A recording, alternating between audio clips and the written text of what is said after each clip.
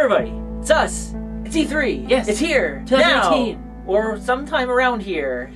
And we keep trying to do one of these things, but then new announcements start showing up. Yeah, so we're doing this. Nobody this- waits for E3 yeah. anymore. Yeah, this has been the weirdest like prelude until E3. We've got leaks, we've got announcements, we've got not really announcements, but might as well be announcements. Announcements, teasers, and reveals. Let's just get started now before we, we everything else gets announced. Yeah, so we're going to talk about the games that have already been announced. Because we were we were going to predict them, but they already are happening.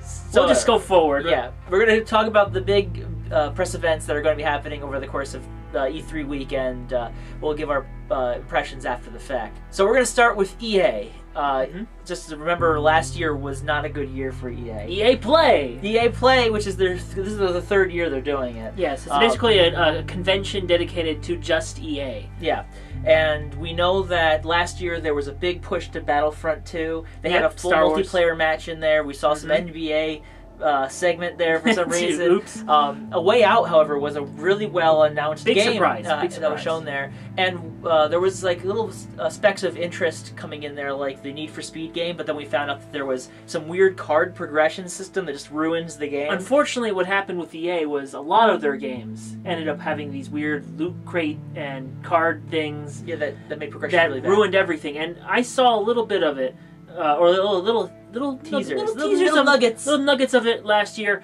But now, of course, now we know.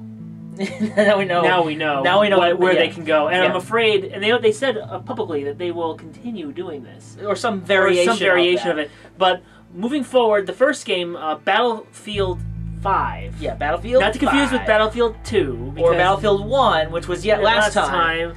I don't know why it's called Five, but either way, It's technically the fifth major Battlefield game, but it is World War II.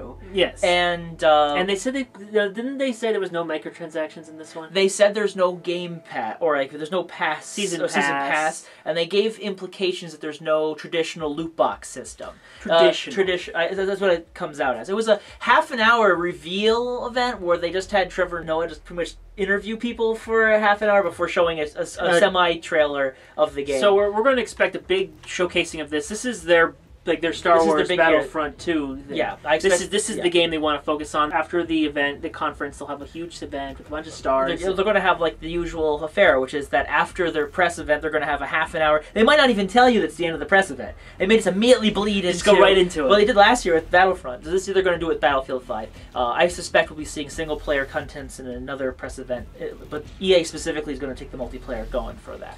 And then, of course, following this is all the sports. Yeah. So we got FIFA 19, and we got Madden NFL 19, and we got NBA Live 19. Those are the three major sports games they got going. Uh, we know that FIFA has that single player campaign with Alex Hunter, I think is the name of the guy. And they might, And keep, they might keep that going. They might keep that going. This would be the third year they would do it. But there was also the Madden NFL game last year they actually introduced with a story mode. so they might do a sequel So that. Yeah, they might do a sequel to that. Uh, And of course, apparently, they might put a bunch of loot crate stuff into that stuff. well, I mean, they kind of do. But they already do that. That's where they make a lot of money. FIFA is where they get a lot of their money from that. And then there's also NBA Live 19. Last year they had tried showing it, but they did a poor job showing it. They had like this video feed that wasn't even the video feed. Uh, expect to see a lot of trailers and expect at least one person that's sports oriented show up on stage. Last year, Oh, that's- they had, that's a given. last year, last year they had the two men in Blazers, which were I guess were a big UK, I would imagine, I never heard of them before. football group.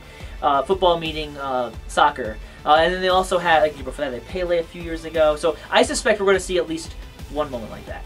Uh, it's going to be a lot longer than we would like it to be. But EA makes a lot of money off sports, so they're they're not Yeah. not going to talk about it. yeah, uh, I don't think we're going to see a Need for Speed game. Uh, last year was a Need I, for Speed title. I, I see. I what was the last year? last year we had Need for Speed Payback. That was the one with That the, was the, weird game with the card system. Yeah. So we won't be seeing that now. Do you think of Burnout?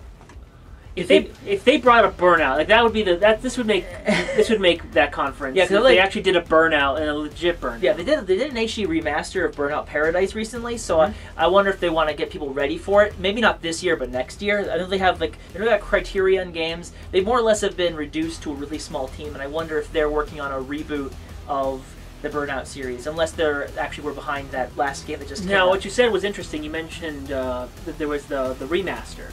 Yeah. Maybe we might see more EA remasters. Maybe, but not here. Uh, this is all new stuff. yeah. That's about new stuff. Yeah, in fact, you, uh, you uh, you reminded me that they always do this uh, this charity event where they talk about like if you do these things and play these games, we'll eventually donate this money to these charities. I think they're going to do something like that again. They'll obviously toot their horn about that. In fact, expect them to talk about the players a lot because it's EA Play, but also because there's a lot of uh, animosity that they have out there for the stuff that came out the end of last year. Yeah, so the- expect the- them to try and say we're better thing." this time, folks. We're better. Uh, Speaking of which, better. Uh, we did the, one of the best things that happened last year was A Way Out, which was their EA Originals line. Yes, so we're hoping for another original EA Yeah, original. yeah. Um, a new either it's going to be a new indie game or even a sequel to an old one. Yeah, uh, the developer of Unravel did say they were working with EA now on some sort of follow up. Uh, so I think an Unravel 2 is expected. It's I don't think it would, it would be weird if we went through a year without an EA original, at least to keep people excited, because A Way Out did very well in the market. But you know what? That's the indie. That's what is the big stuff. This the is big this, this is. EA. Yeah. Star Wars. Yep. Star Wars.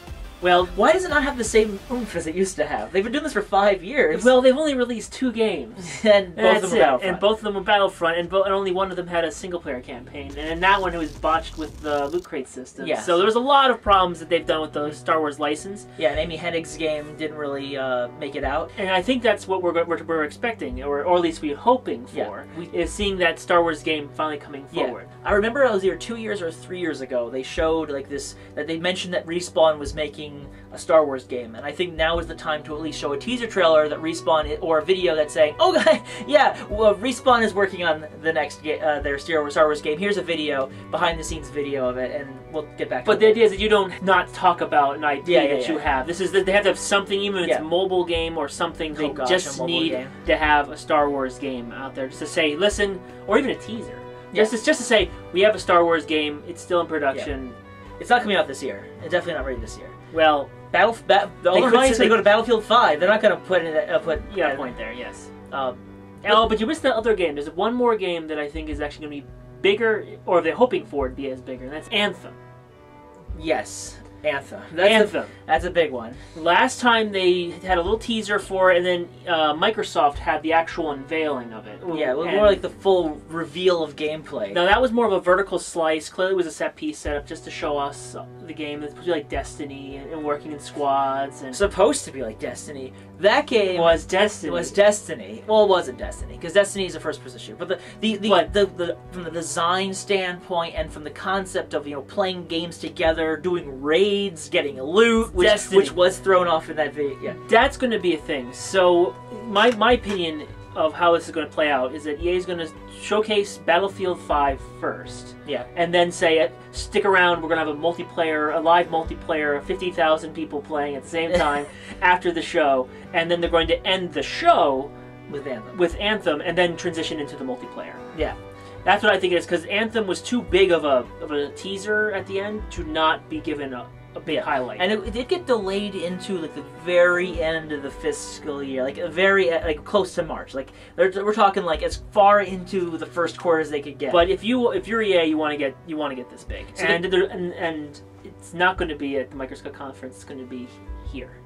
So you're not even going to see it at all, even though Microsoft might be trying to push it more, especially with the Xbox One X. All right, they might, they might. Okay, Yeah. you got. Now you the got question that. is, do they going to have a full demo in here, or they're going to have a full demo in Microsoft? I think the former. they I might think we're gonna have. A, I demo. I think a story trailer might be. They be. Oh, they're gonna have a, definitely have a trailer revealed on the 9th. Yes. So maybe maybe it's the same thing. We're gonna see a full blown story trailer, and they'll be like, "Hey, come on to Microsoft's uh, conference. We're gonna show you where we've gone." Yeah. So in case anything gets announced, we just knew. Yeah, we just knew. We- Yeah, we- surprise! Surprise! But they've been, they've been showing off some stuff that they're kind. Of, They even showed the box art today, so that that is dated where we are in this recording. But All right. So anything else with EA before we move on? I hope it's presented well. They did. A, they they really like Please to really no hype people up. influencers. I don't want any more influencers. They always seem to mess up the conversation. We're I'm, I'm gonna expect some of that. I'm expecting, And I really oh, oh yeah, we're gonna expect we're gonna Oh, esports, esports, esports. esports, EMLS, which was that PAX. It. I'm getting a headache just thinking about it. Anyway, EA, my hype level is right now one out of five.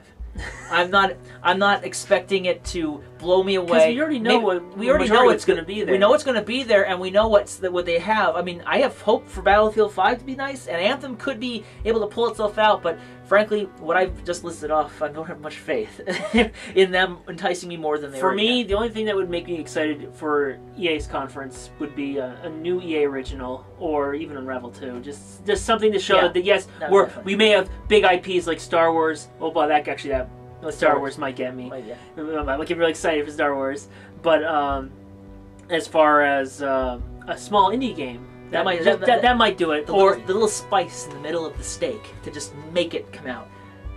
That was a weird analogy. I think we need to get going. yes, we're done with EA. Uh, next will be Microsoft. Yeah, so check us out.